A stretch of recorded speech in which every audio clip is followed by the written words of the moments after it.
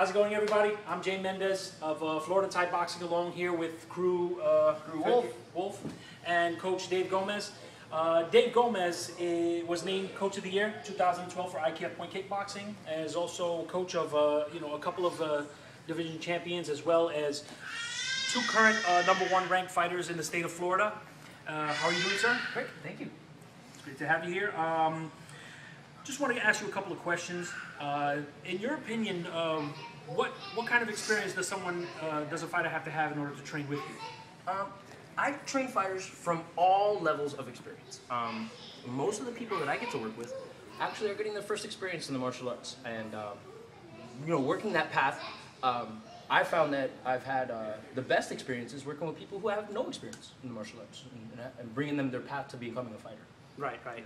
Yeah, I remember uh, you had a, um, a fighter that, uh, that, that trained with you in the beginning that he fought for me was Emilio Pineda, Yeah. and he had trained for only about four months or something like that Yes. before he competed in in, uh, in IKF. in Very Lauderdale. naturally talented guy. and, uh, yeah, and he, he did very well. Yeah. Um, uh, you know, which le- which leads to my next question: What, in your opinion, what do champions do or have that say the posers or the chumps don't? Um, I think that there's a whole list of things that come together to make some someone or, or, or anyone in any sport a champion. Um, but one of the biggest things that I look for from a coaching point of view is, um, is perseverance. Um, the people that are willing to push through and do things that are tough, that are hard, um, even when it's tough, even when it's not their natural comfort zone, even when it's the things that they don't like to do. Um, those are the ones that will prove to me that they're willing to work hard enough to be great. Um, I have a lot of people who, with, with natural talent, and um, they don't demonstrate that work ethic to me, and I, I- I know that they won't become the champion that I'm hoping for. Okay, um, which I guess it kind of goes hand in hand with the next question that I was going to ask. How do you know when a fighter, how do you know when a fighter has what it takes to be a champion? Like, uh, who's I guess currently competing? Um, I, I think there's many things that come together. Uh, one of them being opportunity, and another one being talent, another one being work ethic. But luck has a little bit to do with it too, you know, Right. and being in the right place at the right time. Um, what uh, what advice do you give to your fighters before they get into get into the ring? Um, really, I, I want their confidence to come from what they've done before they got in the ring. And um, in every situation, I feel like the victory comes from the things that you've done before we ever really got in there. Um, I want their confidence to come from the things they've done and the training that they've put themselves through.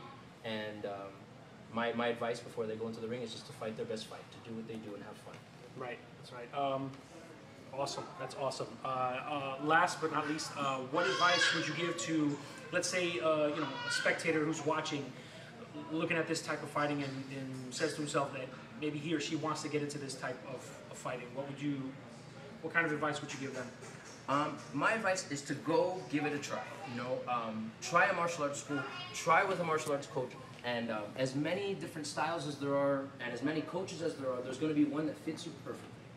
And um, when you find uh, a, a, martial arts school that you can make your home, it really becomes a family. And whether or not you choose to fight with it or not, um, it really will enrich your life and, and make every everyone else in the in the team and, and your own life much better for it. Absolutely, I agree. I agree. Well, sir, um, that's pretty much it. I mean, I, I, I very awesome. It's an honor to have you here. Thank you. Um, you have been a, a, a, low, a, a very uh, avid supporter of IKF Point Kickboxing, all the events throughout all the years, and it's a pleasure to have you here. Thank you so much. Thank you so much. Uh, on behalf of uh, Lou Kedrick, FTD, uh, Dave Gomez, I'm Jay Mendez. See you guys later.